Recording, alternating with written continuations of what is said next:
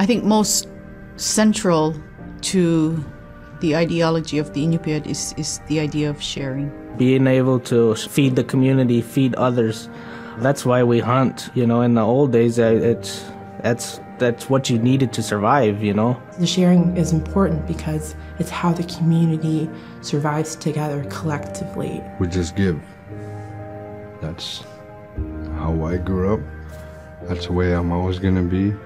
Because of who we are, we always think about other people first. If if our people didn't share in you know in the old days, we wouldn't have survived in this harsh you know climate environment.